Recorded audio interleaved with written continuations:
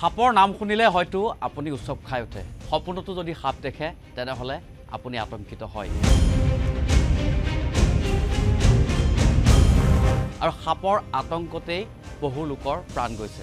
ভাৰতত প্ৰতি বছৰে আশীৰ পৰা এক লাখ আঠত্ৰিছ হাজাৰ লোকৰ সাপে দংশন কৰে আৰু ইয়াৰে গৰিষ্ঠ সংখ্যক লোকৰে মৃত্যু হয়।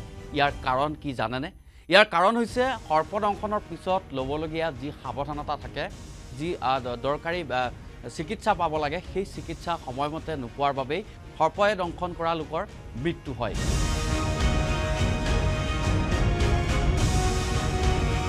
তেনে এটা ঘটনাই সংঘটিত হৈছিল তিনি অক্টোবৰত।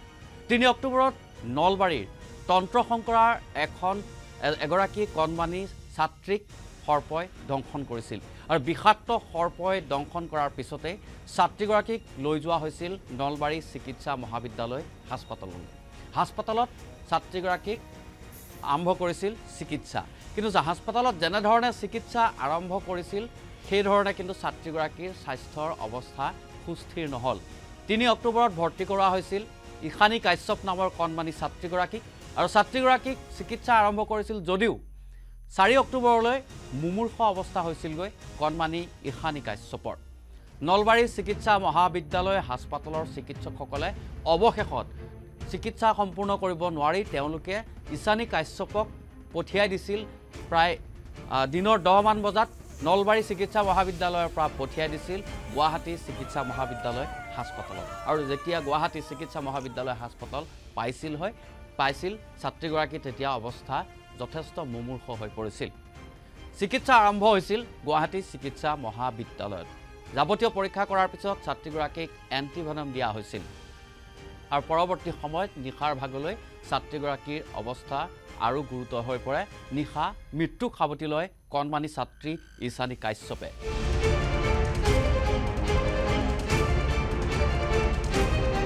কণমানি ছাত্ৰীগৰাকীৰ মৃত্যুৰ পিছতে আৰম্ভ হৈছে বিতৰ্ক।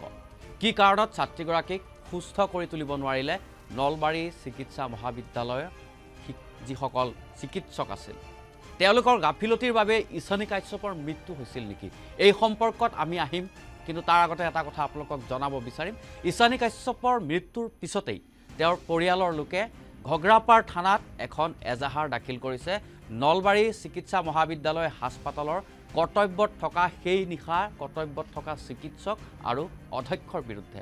ইতিমধ্যে ঘটনা যিহেতু বিতৰ্কৰ সৃষ্টি হৈছিল নলবাৰী চিকিৎসা মহাবিদ্যালয় হাস্পাতাল কৰ্তৃপক্ষই এখন তদন্ত সমিতি গঠন কৰিলে। আৰু এই তদন্ত সমিতিৰ প্ৰাথমিক প্ৰতিবেদনৰ পিছতে দুগৰাকী নাৰ্ছক তাৎক্ষণিকভাৱে শাস্তিমূলক বদলি কৰিলে নলবাৰী মোকালমোৱা আৰু টিহুলৈ এই নাৰ্ছ দুগৰাকীক বদলি কৰাৰ পিছতে তদন্ত পুনৰ চলি আছিল। তাৰ মাজতে হাস্পাতালৰ যিজন অধ্যক্ষ চিকিৎসা মহাবিদ্যালয় হাস্পাতালৰ অধ্যক্ষই ছ'চিয়েল মিডিয়াত প্ৰকাশ কৰিলে এটা মন্তব্য। এই মন্তব্যৰ পিছতেই আৰম্ভ হ'ল আকৌ এটা নতুন বিতৰ্ক। তেওঁ প্ৰকাশ কৰিছিলে যে সাপে কামোৰাৰ পিছত সেই সাপডালৰ ফটো তুলি আনিব লাগে অথবা সাপডাল ধৰিব লাগে ধৰি আনিব লাগে। যিগৰাকী অধ্যক্ষক তেওঁ নিউজ বাৰ্তাবিলাক নিউজ বাৰ্তা এটা দিছে যে সৰ্পৰ দেখালে ফটো ল'ব লাগে বা সৰ্প সৰ্পটো লৈ আহিব লাগে। কি আচৰিত বক্তব্য দাঙি ধৰিছে। এই বক্তব্যটো মই তেওঁক গৰিহণা দিছোঁ আৰু এই বক্তব্যটো তেওঁক উঠাই ল'ব লাগে। কাৰণ এই বক্তব্যৰ পিছত আৰু সৰ্প দৰ্শন হ'লে হয়তো কোনোবাই সাপটো ধৰিব যাতে সাপে তেওঁক ক্ষতি কৰিব পাৰে বা সাপৰ ওচৰত ফটো ল'ব যাতে সেই ব্যক্তিজনকো কোনোবাই সাপে ক্ষতি কৰিব পাৰে। একচুৱেলি সৰ্পৰ ওপৰত কোনো অভিজ্ঞতা নাই। তেওঁ কোনো ধৰণৰ অভিজ্ঞতা নাই। সেয়ে মই চৰকাৰলৈ অনুৰোধ কৰিছোঁ এনেকুৱা চিকিৎসকসকলৰ ওপৰত চৰকাৰে আইনগতভাৱে ব্যৱস্থা ল'ব লাগে। সেয়ে মই সেই ব্যক্তিজনক এনেকুৱা ভুল বাৰ্তা দিবলৈ মই তেওঁক আহ্বান কৰিছোঁ এনেকুৱা ভুল বাৰ্তা তেওঁ নিদিয়ক যাতে। এনেকুৱা ধৰণৰ তেওঁ কিছু লঘু মন্তব্য কৰিছিল। সাপে কামোৰাৰ পিছত সেই লোকজনে কেনেকৈ সাপডালৰ ফটো তুলিব? যিজন লোক ভীতিগ্ৰস্ত হৈ থাকে মানুহে সাপ দেখিলে ভয় খায় সাপক লৈ আতংকৰ সৃষ্টি হয়। সপোনতো সাপ দেখিলে আপুনি হয়তো উৎসৱ খাই উঠে। কিন্তু তেওঁৰ যি মন্তব্য কৰিছে আধুনিক চিকিৎসা বিজ্ঞানৰ তেওঁ এজন ছাত্ৰ। এজন অধ্যক্ষ এখন চিকিৎসা মহাবিদ্যালয় হাস্পাতালৰ তেখেত অধ্যক্ষ। আৰু তেওঁ এনেধৰণৰ মন্তব্য কৰাৰ পিছতে আৰম্ভ হৈছে আৰু এটা নতুন বিতৰ্ক। সাপৰ ফটো আনিলে তেওঁ প্ৰকাশ কৰা অনুসৰি চিকিৎসকৰ সুবিধা হয় যে কি সাপে দংশন কৰিছে আৰু সেই অনুসৰি তেওঁ চিকিৎসা প্ৰদান কৰিবৰ কাৰণে তেওঁলোকৰ সুবিধা হয়। কিন্তু আমি যিমান দূৰ অধ্যয়ন কৰিছোঁ বা যিসকল বিশেষজ্ঞৰ লগত আমি কথা পাতিছোঁ প্ৰকৃততে তেনেকুৱা কোনো কথা নাই। সাপে কামোৰাৰ পিছত আপুনি যদি সাপডাল চিনি নাপায় বা আপুনি সাপডালৰ যদি ফটো উঠাব নোৱাৰে তেনেহ'লে কোনো কথা নাই। কিন্তু আপুনি প্ৰাথমিক অৱস্থাত এটা কাম কৰিব লাগিব। সেয়া হৈছে আপুনি প্ৰথমতেই সাপে দংশন কৰাৰ পিছত যিমান পাৰে সোনকালে আপুনি হাস্পাতাললৈ যাওক অথবা চিকিৎসকৰ কাষ চাপক বা আপুনি ফোনযোগে প্ৰথমতেই চিকিৎসকৰ পৰামৰ্শ গ্ৰহণ কৰক। তাৰপিছত চিকিৎসকে যেনেধৰণে বিধান দিব সেই অনুসৰি আপুনি আগবাঢ়ক। কিন্তু আপুনি সাপৰ ফটো অথবা সাপডাল ধৰি আনিব নালাগে চিকিৎসালয়লৈ। আৰু এই মন্তব্যৰ পিছতে এতিয়া আচলতে যথেষ্ট প্ৰশ্নৰ উদ্ৰেক হৈছে। প্ৰকৃততে সাপডাল ধৰি আনিব নোৱাৰাৰ কাৰণেই বা সাপডাল চিনাক্ত কৰিব নোৱাৰাৰ কাৰণেই ঈশানী কাশ্যপক নলবাৰী চিকিৎসা মহাবিদ্যালয় হাস্পতালে চিকিৎসা প্ৰদান কৰিব নোৱাৰিলে নেকি? চিকিৎসা বিজ্ঞানৰ যি যি বিধান আছে যি নীতি আছে সৰ্পদংশন কৰা লোকৰ ক্ষেত্ৰত প্ৰাথমিক অৱস্থাত কেনেধৰণে চিকিৎসা কৰিব লাগে বা তেওঁলোকে কি পদ্ধতিৰে চিকিৎসা কৰিব লাগে সেই সম্পৰ্কে চিকিৎসা বিজ্ঞানত যথেষ্ট বিধি আছে। কিন্তু তাৰ পিছতো তেওঁলোকে এনেধৰণৰ পুৰণিকলীয়া কথাৰে যি টুলুঙা মন্তব্য কৰিলে নলবাৰী চিকিৎসা মহাবিদ্যালয় হাস্পাতালৰ এজন অধ্যক্ষই সেয়া সঁচাকৈয়ে লজ্জানত আৰু চিকিৎসা বিজ্ঞানৰ এজন ছাত্ৰ হিচাপে তেওঁৰ এই মন্তব্যই উদঙাই দিছে তেখেতৰ জ্ঞানৰ গভীৰতা। বহু বহু বিশেষজ্ঞই প্ৰকাশ কৰে যে সাপে কামোৰাৰ পিছত যিমান পাৰে সোনকালে হাস্পতাললৈ আহিব লাগে আৰু তাৎক্ষণিকভাৱে চিকিৎসা গ্ৰহণ কৰিব লাগে।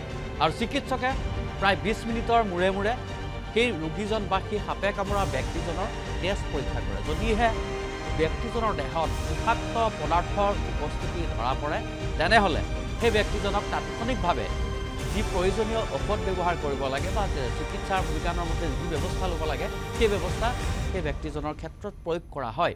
বহু ক্ষেত্ৰত দেখা যায় যে সাপে কামুৰিলেও বহু বিষাক্ত সাপে কামুৰিলেও তেওঁ সাপে বিষ নাঢালিব পাৰে। সাপে দংশন কৰা স্থানত বিষ নাঢালিবও পাৰে। সেয়া আচলতে তেনেধৰণৰ ঘটনাও হয়। কিন্তু তথাপিও আপুনি চিকিৎসকৰ পৰামৰ্শ লোৱাটো অতি জৰুৰী। কাৰণ সাপে দংশন কৰিলে আপোনাৰ দেহত বিষ প্ৰয়োগ কৰিছে নে নাই কৰা সেই সম্পৰ্কে যিহেতু আপুনি গম নাপায়। চিকিৎসকেহে সেয়া থিৰাং কৰিব পাৰিব। যাৱতীয় পৰীক্ষা নিৰীক্ষাৰ পিছত যে আপোনাৰ দেহত সাপে দংশন কৰাৰ পিছত বিষ প্ৰয়োগ কৰিছে নে নাই। গতিকে এনেকুৱা ধৰণৰ কথা চিকিৎসা বিজ্ঞানত আছে বহু সাধাৰণ লোকেও জানে বা যিসকলে সৰ্প সৰ্প বিশেষজ্ঞ আছে তেওঁলোকে এই কথা সচেতনতা জনসচেতনতাৰ বাবে তেওঁলোকে বিভিন্ন সময়ত প্ৰকাশ কৰি আহিছে। কিন্তু নলবাৰী চিকিৎসা মহাবিদ্যালয় হাস্পাতালৰ এগৰাকী অধ্যক্ষই এনেকুৱা ধৰণৰ মন্তব্য কৰাৰ পিছতে আচলতে প্ৰশ্ন উত্থাপন হৈছে তেওঁ চিকিৎসা বিজ্ঞানৰ ছাত্ৰ আছিল নে আচলতে তেওঁ পুৰণিকলীয়া নীতিৰে তেওঁৰ মানসিকতাৰে তেওঁ আচলতে চিকিৎসা বিজ্ঞানৰ তেওঁ প্ৰেক্টিছ কৰি আছে। গতিকে এনেকুৱা ধৰণৰ বিতৰ্ক আছে। ইতিমধ্যেই নলবাৰী চিকিৎসা মহাবিদ্যালয় হাস্পাতালৰ অধ্যক্ষ আৰু সেই নিশা তিনি অক্টোবৰৰ নিশা কৰ্তব্যৰত যিসকল চিকিৎসক আছিল তেওঁৰ বিৰুদ্ধে গোচৰ তৰিছে নলবাৰীৰ ঘগ্ৰাপাৰ আৰক্ষী চকীত। গতিকে পৰৱৰ্তী সময়ত কি ব্যৱস্থা হয় বা আৰক্ষীয়ে কেনেধৰণে আগবাঢ়ে সেয়া পৰৱৰ্তী সময়ত গম পোৱা যাব। কিন্তু এটা কথা স্পষ্ট যে নলবাৰীৰ চিকিৎসা মহাবিদ্যালয় হাস্পাতালত পৰ্যাপ্ত পৰিমাণৰ এণ্টিভেনম আছিল। এই কথা কিন্তু চিকিৎসক চিকিৎসা মহাবিদ্যালয়খনৰ অধ্যক্ষই নিজে প্ৰকাশ কৰিছে। তাৰ পিছতো এণ্টিভেনম থকাৰ পিছতো কি কাৰণে ঈশানী কাশ্যপক এণ্টিভেনম প্ৰয়োগ কৰা নহ'ল সেই কথা কিন্তু এটা ৰহস্য হৈ আছে। নাই তেওঁলোকে এণ্টিভেনম প্ৰয়োগ কৰিব প্ৰয়োগ কৰিবলৈ ভয় কৰিলে নে তেওঁলোকৰ মতে এণ্টিভেনম প্ৰয়োগ কৰিব নালাগে সেয়া তেওঁলোকৰ সম্পূৰ্ণ চিকিৎসা বিজ্ঞানৰ বিধান সেয়া আমি ক'বলৈ নাযাওঁ।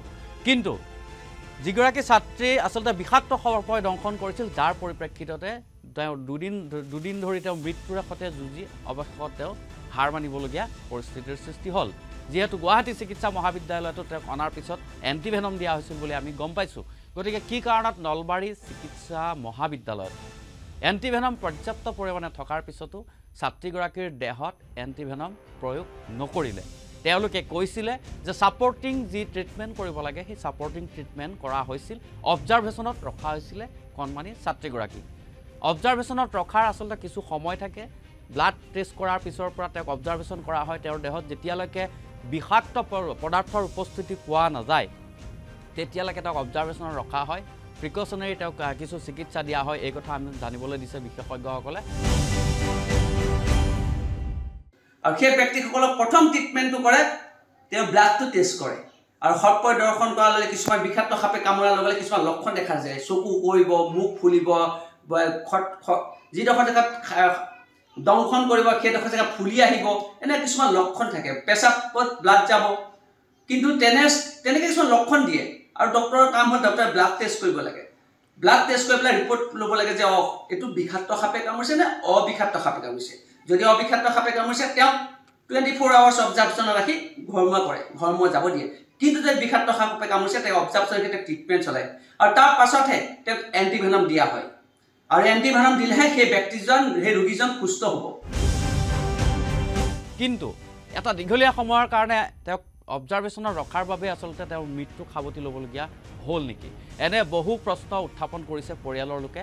আৰু চিকিৎসা মহাবিদ্যালয়ৰ সেই সময়ত তিনি অক্টোবৰত দায়িত্বত থকা যিসকল চিকিৎসক আছিল তেওঁলোকৰ বিৰুদ্ধেও আচলতে গাফিলতিৰ অভিযোগ আহিছে। তেওঁলোকে ভালদৰে চিকিৎসা কৰা নাছিল নেকি?